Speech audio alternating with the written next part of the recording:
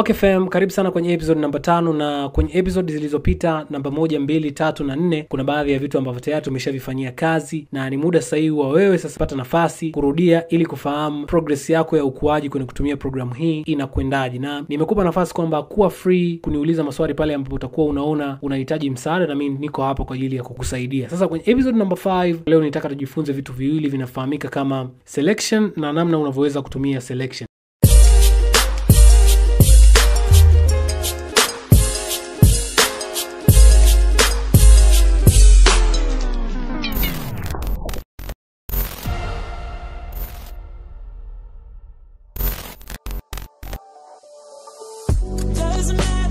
Moja kwa moja tutaenda kwenye file tutaenda kwenye new kwa ajili ya kufungua project yangu mpya. Itafunguka panel hiyo ya new document then nitajaza width kwa maana ya upana itakuwa 1080 lakini urefu maana ya height itakuwa 1080 pixel nitaacha hivyo kwa sababu ndio kipimo ambacho nakitumia kwa sababu kazi yangu inaenda kwenye electronic device. Resolution nitajaza 300 pixel on nchi color mode nitachagua rgb background color nitaacha white profile nitachagua working rgb kwenye pixel aspect ratio nitachagua square pixels then nitaenda kwa moja kwa moja kwenye neno create. Nikibonyeza create utafunguka ukurasa wangu au itafunguka project yangu ambayo haina kitu chochote. Hii ndio project mpya na inatakiwa nianze kazi yangu kwenye project hii. Kwa moja kwa moja tu, tu, tu place kitu tu press kitu chochote ili tuone selection jinsi gani inavyofanya kazi. Kwao nitaenda kwenye desktop nitaenda kwenye 30 ep material folder then nitachagua let's say nichague picha hii hapa. Then nitabonyeza plus ili ingie kwenye background yangu. Nitabonyeza okay sasa nataka ni press picha yangu ionekane huku nyuma. Kwao nitaenda moja kwa moja kwenye file. Let's say to press to place picha ipi? Let's say to place picha hii hapa ya bidada hapa. Tuka place kama hivyo. Nitaisubiri kidogo ili ijiplace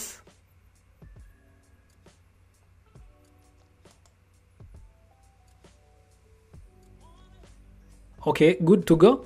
Kwao nitabonyeza okay mpaka hapo. Lakini hii picha imekuja mbele na imeficha picha ya frame kwa nyuma. Na hii picha mi nilikuwa naitaka ikae nyuma ya frame. Kwa moja kwa moja nitakuja kwenye hii picha kwenye layer zangu kwenye list ya vitu navyovifanyia kazi kwenye layer. Then nita hold left click nitaishusha hii chini ili iwe chini ya layer ya frame. Lakini ukiangalia hapa utaona tena picha ya frame imeziba tena.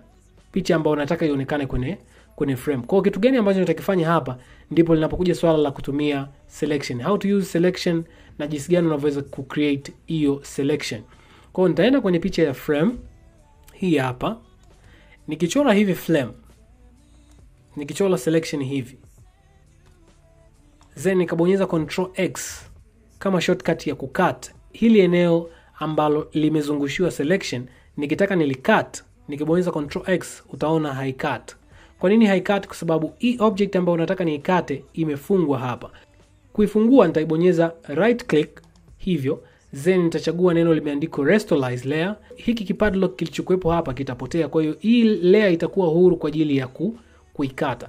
Kwa hiyo hapa niko niko niko niko free kutumia control X kama kukata, ili ikate pale katikati na kuruhusu picha iliyopo nyuma kuonekana kwa urahisi. Kwa hiyo unaweza ukaona hivi ilikuwa before, lakini baada ya kubonyeza control X imekata lile eneo ambalo nilikuwa nahitaji litoboke au liachie nafasi kwa ajili ya kupa kwa ajili ya kutoa nafasi picha ya nyuma kuonekana. Kwa hiyo baada ya hapo nitabonyeza moving to, then nitabonyeza control T kama free transform.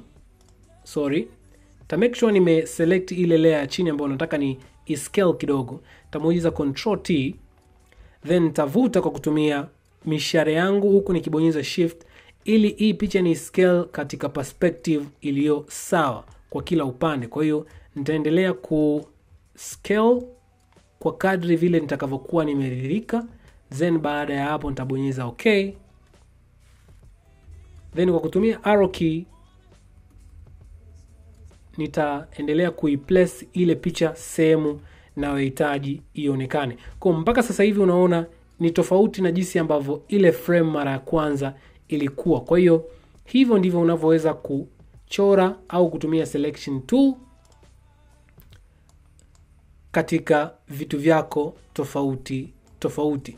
Kwa baada ya hapo, unaweza ukaona ile picha imekaa vizuri kwenye hiyo frame na imekaa kwa msaada wa kutumia selection tool ambao nilicholea, then nikabonyeza control x nikaikata ili nipe nafasi itakayoruhusu picha yangu ya nyuma kuonekana, na kama unavyoona utaona reality fulani kwenye uh, frame pamoja na picha. Yani utasema ni vitu ambavyo vilikuwa pamoja toka muda mrefu, lakini nimetumia selection kutoboa lile tundu. Twende tukaangalia mfano mwingine namna gani ambavyo unaweza nikatumia selection tool. So hizi hizi layer mbili kwa sababu tayari nimeshazifanyia kazi, nitabonyeza nita highlight kwa kubonyeza control ya kwanza, nita highlight kwa kubonyeza control layer ya pili, then nitabonyeza control G kutengenezea group, au nitazibeba zote kwa pamoja, nitazishusha mpaka kwenye hili uh, box icon, folder icon hapo kwa ajili ya kutengenezea group, then nitazima kwa sababu uh, sifanyii kazi tayari, nimeshamalizia kazi.